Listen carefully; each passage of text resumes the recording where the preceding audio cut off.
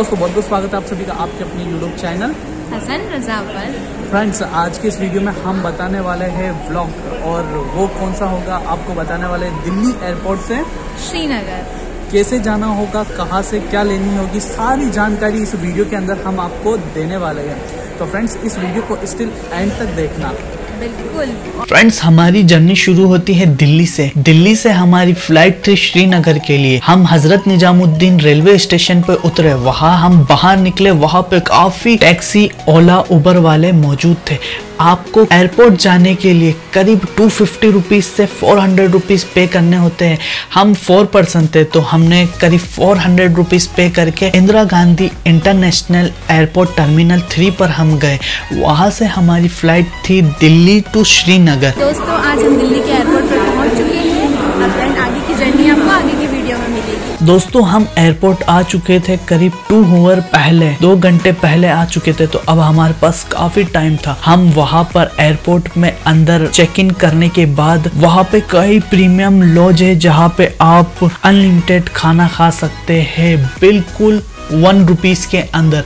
हमारे पास HDFC का क्रेडिट कार्ड था तो उससे हमने ये फैसिलिटी उपलब्ध करी और हमने फ्री ऑफ़ कॉस्ट यानी कि वन रुपीज़ में हम चारों जनों ने खाना खाया अनलिमिटेड रॉयल लॉज करके आप वहाँ पे जा सकते हैं और खाना खा सकते हैं एयरपोर्ट के अंदर अनलिमिटेड फ्रेंड्स फिर हमारी फ़्लाइट ऑन द टाइम थी टाइम से हम श्रीनगर पहुँच गए और बहुत ही खूबसूरत वादियों को देखते हुए आप भी अगर श्रीनगर जाएँगे तो आपको बहुत ही खूबसूरत बर्फ़ की चादर में लपटे हुए पहाड़ दिखेंगे और जब हम एयरपोर्ट पर लैंड करें तो पूरा एयरपोर्ट बर्फ़ से ही ढका हुआ था। जिस तरफ़ देखो उस तरफ़ बर्फ़ ही बर्फ़। हम एयरपोर्ट से बाहर निकले तो वहाँ पर भी आपको एयरपोर्ट के बाद बर्फ़ ही मिलेगी। फिर हम एयरपोर्ट से जैसे ही बाहर निकले तो हमारे हाउस बोट के ऑनर थे। हमारे हाउस बोट के ऑनर फिरोज भाई वो हमें पिकअप करने आ गए एयरपोर्ट पर। शिकारा भी ले रहा है घूमने इसको। फ़ोटो खींचो ना। हाँ। हमारी भी। क्या इसमें स्नोफॉल हो रही है यार? मज़ा आ गया।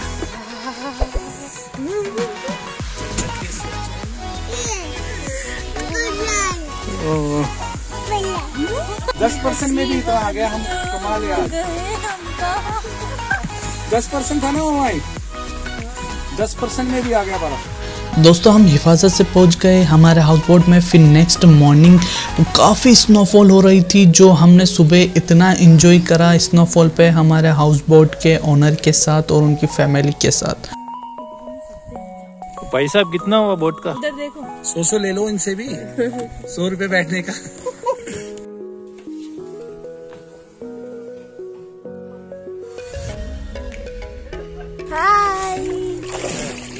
किस हिसाब है इसके ऊपर? दोनों मोबाइल साथ रखे थे।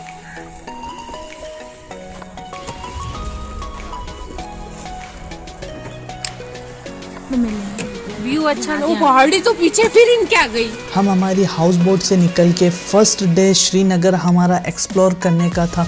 तो हम हाउस बोट से निकले और शिकारा राइड से हम रोड तक गए फिर बाय कार हम कार से निकले तो दोस्तों आज हम आ गए हैं डल लेक के बाहर खड़े हैं। देखिए आप डल लेक है और यहाँ पे बहुत सारी शिकारा राइड्स खड़ी है जिनका चार्जेस जिनका चार्जेस बहुत ही आपको जिस हिसाब से घूमना है उससे मिल जाएगा। और ये बहुत सारी हाउस बोट है इन्हीं से हम एक रुके हुए हैं। कम से कम 1200 हाउस बोट अवेलेबल है।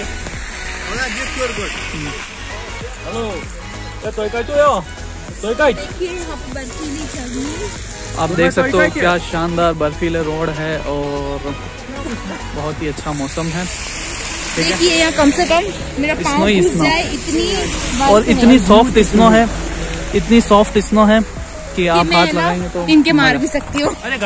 गेट नंबर सात से हमारी हाउस बोट की कार हमें अवेलेबल हुई फिर वहाँ से हम श्रीनगर घूमने गए।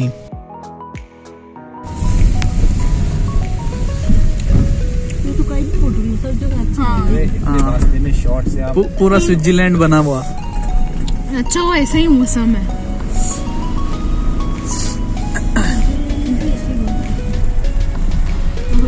आ- आपके हाउस बोट का नाम क्या है? रॉयल लॉज फ्रेंड्स जिस हम रॉयल बोट में ठहरे हैं वो बहुत ही अच्छा हाउस बोट है। रॉयल लॉज रॉयल लॉज बहुत ही अच्छा हाउस बोर्ड है और बहुत ही फैमिली ट्रीट है। फ्रेंड्स श्रीनगर में हमने सबसे पहले देखा तो व्यू पॉइंट देखा, वहाँ से आप डल लेक के व्यू पॉइंट देख सकते हैं। वहाँ पे दो नज़ारे आपको देखने को मिलेंगे। सामने जमी हुई बर्फ़ के पूरे डल लेक्स जमी हुई है और आप सामने ऊँचे ऊँचे पहाड़ और ऊँचे ऊँचे पेड़ जो बर्फ़ में ढके हुए हैं, इतने खूबसूरत लगते हैं। दोनों व्यू आप इस पॉइंट पे आके देख सकते हैं। फिर हम वहाँ से नेक्स्ट पॉइंट पर घूमने गए। वो पार्क हमने देखा, बहुत ही खूबसूरत था। जिसके बारे में हम आगे इस वीडियो में बताएँगे, वहाँ पे आप स्ट्रीट फ़ूड खाना खा सकते हैं बहुत कम प्राइस में। तो आज हम आ गए हैं मकई पार्क में और यहाँ पे बहुत सारे बाहर स्ट्रीट फ़ूड है चिकन नॉनवेज जो नॉनवेज खाना पसंद करते हैं नॉनवेज के लिए है। और बहुत शानदार और लो कॉस्ट पे आपको बहुत अच्छा यहाँ पे स्नैक्स मिल जाएगा। तो आइए हम आप इस पार्क को, आपको दिखाते हैं। हर जगह यहाँ बर्फ़ ही बर्फ़ है। ये एक रेस्टोरेंट था, पर अभी लॉकडाउन की वजह से बंद हो चुका है। यहाँ अभी चल नहीं रहा है। आप यहाँ आराम से घूम सकते हैं। देखिए कितनी बर्फ़ है। पूरी गिर रही हूँ। ये श्रीनगर में ही है। देखो मेरे पैर दब गए अंदर।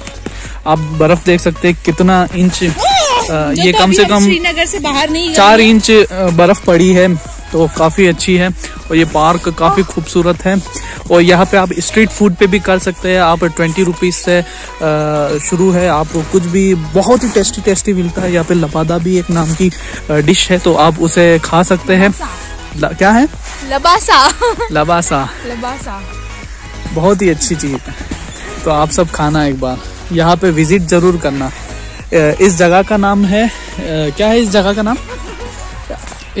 क्या? मकई पार्क। मकई पार्क मकई पार्क के है। ये एक रेस्टोरेंट है मकई पार्क। इसके बाहर आप देख सकते हैं ये डेल लेक के बिल्कुल सामने है। यहाँ पे आपको स्ट्रीट फ़ूड मिल जाएगी सभी तरीके की आप खाना खा सकते हैं। कुछ देर हमने वहाँ पे इंजॉय करा और हमारे फ़ोटोज़ पिक्स और वीडियोस बनाए। बहुत ही अच्छे अच्छे वीडियोस फिर वहाँ से हमने कुछ देर नाश्ता किया। नाश्ता बहुत ही टेस्टी था। यहाँ आप देख सकते हैं बहुत ही अच्छी अच्छी शॉप है स्टॉल है जहाँ से आप कर सकते हैं। फिर हम नेक्स्ट जर्नी पे गए मुगल गार्डन, वहाँ से आपको आगे बताएँगे ये चौबीस रुपए का टिकट लगा है दोस्तों तो आप देख सकते हैं। ये हम मुगल गार्डन में आए हैं।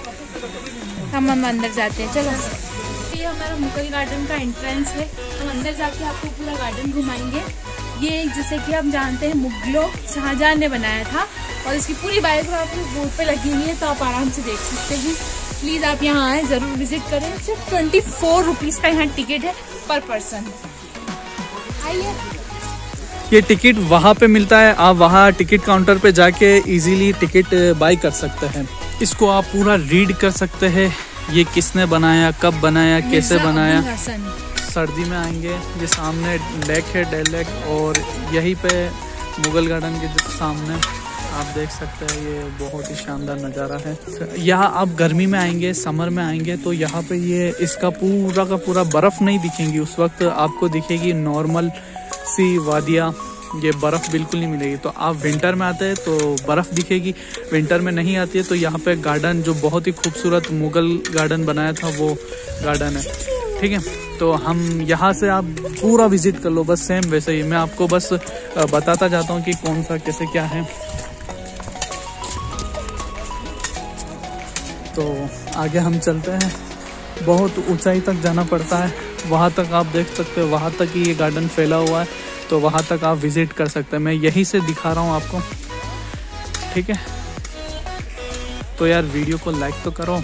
इतने खूबसूरत नज़ारे। फ्रेंड्स अगर आप भी इतनी खूबसूरत वादियों को देखना चाहते हैं तो बहुत ही सस्ता पैकेज हमने आप लोगों के लिए लाए है। तो कैसे करना होगा, वो सारी जानकारी हम आपको देने वाले हैं इस वीडियो के अंदर। हम अपनी हाउस बोट के अंदर जाएँगे, वहाँ पे आपको सारी डिटेल वन बाय वन बताएँगे कि कहाँ से हमने कैसे पैकेज बाय करा। बहुत ही सस्ते, बहुत ही सस्ते। अगर आप बहुत ही महँगा चाहते तो महँगा भी अवेलेबल है। आप पर पर्सन वन लाख रुपीज़ खर्च करना चाहते तो वो पैकेज भी अवेलेबल है। पाँच हज़ार से लेकर पर पर्सन पाँच हज़ार से लेकर एक लाख तक का भी पैकेज अवेलेबल है। तो आप यहाँ पे आ सकते हैं। बहुत ही शानदार व्यू है। तो आपको मैं पैकेज की डिटेल आगे देने वाला हूँ here as a gardener, continuously from 13 years. The name of this garden is Nishat. In English, it means the happiness.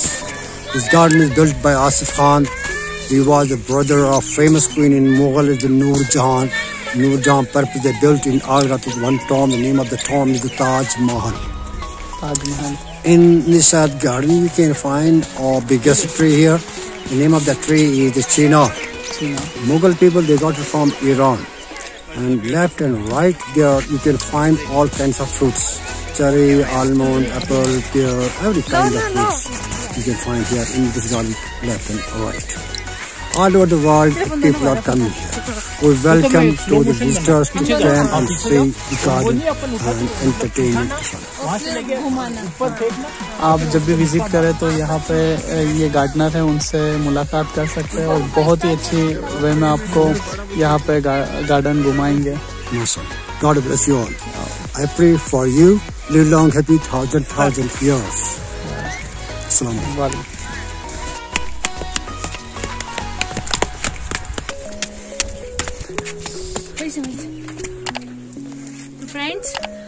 गए हैं चश्मे शाही।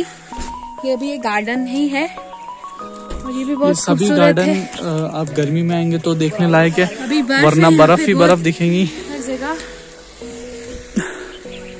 ये पहाड़ देखो चलो। चलो अब हम जीनत के संग चलेंगे आगे चश्मे शाही बाग देखने। चलो।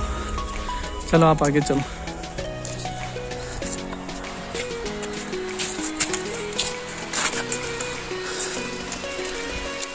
पीछे आप यहाँ आए तो अपने साथ स्वेटर शॉल ग्लव्स वगैरह हर चीज़ लेके आए क्योंकि तो यहाँ और एक खास बात इस टाइप के बिल्कुल ना लाए। शूज़ लाए लॉन्ग शूज़ लाए या गम बूट लाए क्योंकि यहाँ पर वही चलते और हैं। मेरी राय ये है कि आप शूज़ सिर्फ़ एक ही लाए आप ऐसा नहीं हो कि दो तीन रख लिए सिर्फ़ एक ही लाए और और- लगेज लाए बहुत लिमिटेड लगेज लाए सबसे ज़्यादा लाए तो आप वुलन कपड़े लाए। यहाँ अगर विंटर में आ रहे तो। पहनने पड़ते हैं। और यही से आपको फोर हंड्रेड रुपीज़ या थ्री हंड्रेड रुपीज़ के जो बर्फ़ वाले शूज़ होते हैं वो मिल जाएँगे। आराम से लाल चौक या कहीं से भी बाई कर सकते हैं। से बा- वहाँ से बाय कर सकते हैं। हम भी वहीं से बाई करेंगे। तो चलो ये फाउंटेन्स है और ये लोमड़ी तो नहीं है यहाँ का कुत्ता है ये देख सकते हैं। हम कल गुलमर्ग की ट्रिप करेंगे तो वहाँ आपको हम बताएँगे कि हम वहाँ से क्या क्या शॉपिंग कर रहे हैं और कितनी चिपेस्ट प्राइस में तो चश्मे शाही की जो खासियत ये वो है कि यहाँ पर चश्मे में से पानी निकलता है। अब हम भी देखेंगे कि कैसे चश्मे से पानी निकलता है। ये कुदरती पानी होता है। तो लेट्स पहाड़ों से आता है। सी दैट बेके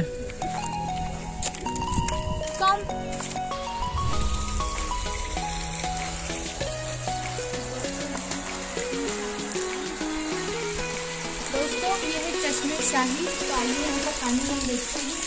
मछली के मुँह से इसमें पानी आ रहा है। मैं इसको पीछूँगी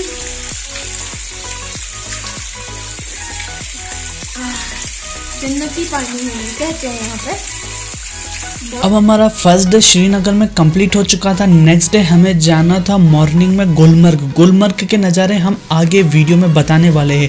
तो फ्रेंड्स इतनी कमाल की वीडियो को लाइक करें शेयर करें सब्सक्राइब करें। हेलो गाइस तो आज हमारा सेकंड डे है कश्मीर का। हम आज श्रीनगर से निकले हैं। गुलमर्ग। की तरफ़। तो अभी हम श्रीनगर से गुलमर्ग का जो रास्ता है वो 54 किलोमीटर है। अभी हम टर्नमर्ग बीच में रास्ते में पहुँचे हैं। बहुत खूबसूरत नज़ारा है। जहाँ हम रुके हुए हैं हमारी नई गाड़ी आएगी यहाँ पे। तो दोस्तों अब टनमर्ग से हम शेयर टैक्सी लेंगे। शेयर टैक्सी लेके हम गुलमर्ग जाएँगे। देन आगे की विज़िट हम आपको आगे बताते हैं। अब हमारे साथ हुआ क्या था? हम हमने क्या पूरा पैकेज लिया था? तो पैकेज में ही हमारा अ, गाड़ी इंक्लूड है और सब कुछ इंक्लूड है। और ये हमारे फिरोज भाई है। फिरोज भाई हमें हर जगह घुमा रहे हैं। ये हमारे हाउस बोट के ऑनर है। तो आप इनसे हम इनका इंटरव्यू भी लेंगे इनके हाउस बोट पे और आपको पूरी डिटेल बताएँगे वीडियो के अंदर। इनशाला आप पूरी वीडियो स्टिल एंड तक देखिएगा। सभी जानकारी प्रॉपर वे में हम आपको देने की कोशिश करेंगे। और फ्रेंड्स हमने टनमर्ग से गुलमर्ग के लिए 12 किलोमीटर की दूरी है तो वहाँ से हमने टैक्सी करी। टैक्सी करने के बाद हम गुलमर्ग पहुँचे। गुलमर्ग पहुँचने के लिए आपको टैक्सी करनी ज़रूरी है इन विंटर सीज़न अगर विंटर सीज़न नहीं है समर सीज़न है तो आप टैक्सी करने की ज़रूरत नहीं, क्योंकि ये स्पेशल कार होती है जो इसके चेन लगाए जाते हैं टायर पर तो उसकी मदद से ही ये बर्फ़ पे चलती है। वरना नॉर्मल कार के टायर फिसलते हैं तो इस वजह से वहाँ पे आगे की तरफ़ हाँ, हमें टैक्सी करके जानी होती है। अब हम पहुँच चुके थे Gulmarg. Welcome to Gulmarg city बहुत ही कमाल की जगह है गुलमर्ग। यहाँ पे हमने गंडोला राइड करी सेवन फोर्टी रुपीज़ के अंदर फ़र्स्ट फ़ेज़ तक गए। फिर वहाँ से हमने बहुत सारी राइड करी स्लेज राइडिंग करी। स्लेज राइडिंग हमने बहुत ही मज़े लिए स्लेज राइडिंग के पूरी टीम ने हमारी और फिर उसके हम उसके बाद हमने कई ऐसी एक्टिविटीज़ है जो हमने करी। या भैया एक्टिविटीज़ करने के बाद हमें बहुत ही मज़ा आ गया गुलमर्ग में। गुलमर्ग पूरा बना ही है एक्टिविटीज़ के लिए। तो आप वहाँ बहुत सारी एक्टिविटीज़ कर सकते हैं। स्किन कर सकते हैं साइकिल राइड कर सकते हैं, आप साइकिल चला सकते हैं। और आप आपकी पर्सनल बाइक लेके घूम सकते हैं बहुत ही मज़ा आता है और स्किन कर सकते हैं स्किन करने में बहुत ही मज़ा आता है। शुरुआत में आपको चलाने में तकलीफ़ होगी आप चला नहीं सकोगे लेकिन फिर सीख जाओगे फिर आराम से चला पाओगे। तो इसी तरह हमारा सेकंड डे भी कंप्लीट होता है फिर हम थर्ड डे सोनमर्ग गए। तो हम श्रीनगर से सोनमर्ग जा रहे हैं। आप देख सकते हैं रास्ता कितना खूबसूरत है बहुत ही शानदार लुकिंग है और आप देख सकते हैं ये हमारे साथ एक रिवर चल रही है। और ये देख सकते हैं कितने प्यारे घोड़े हैं।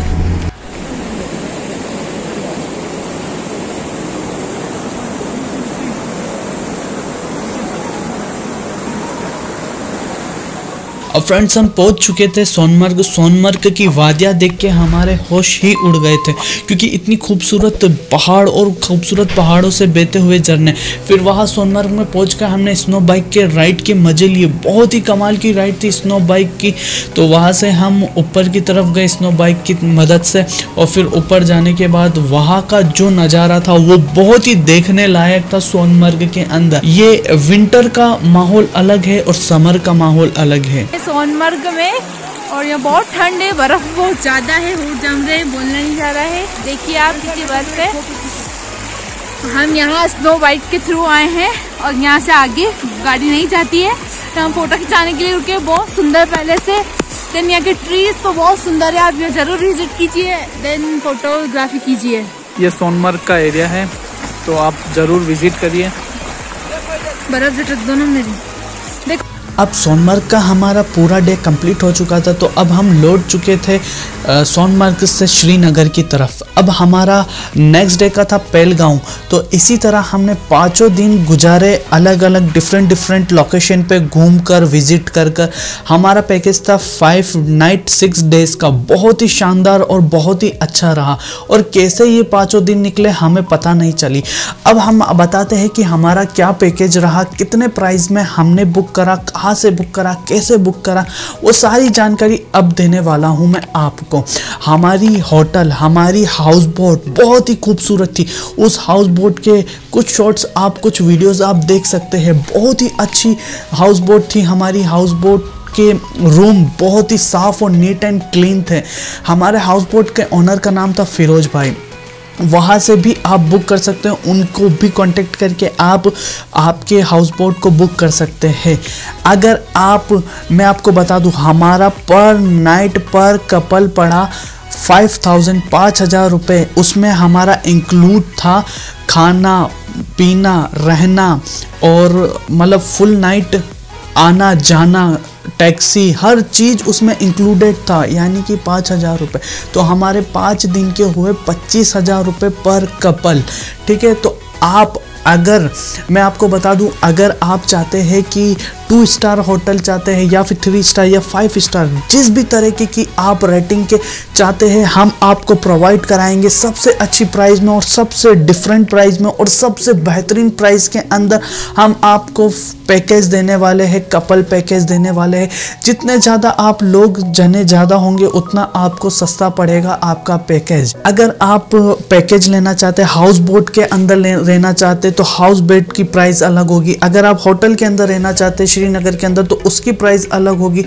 आप चाहते कि यार हमें सस्ते से सस्ते प्राइस के अंदर चाहिए तो वो भी मैं आपको बता देता हूँ। कम से कम पाँच हज़ार रुपये से लेकर एक लाख रुपए का पैकेज भी बाई कर सकते हैं। हमारे पास सभी पैकेज अवेलेबल है। तो फ्रेंड्स मुझे कांटेक्ट करें। कांटेक्ट नंबर नीचे है और फिरोज भाई के भी कांटेक्ट नंबर नीचे है। तो आपको हम अच्छे से अच्छा पैकेज बना के देंगे आप बेफिक्र हो जाइए। आपको इसमें गाड़ी से लेकर वापस एयरपोर्ट पे छोड़ने जाएगी गाड़ी और आपकी होटल बहुत ही शानदार रहेगी आपके बजट के अकॉर्डिंग।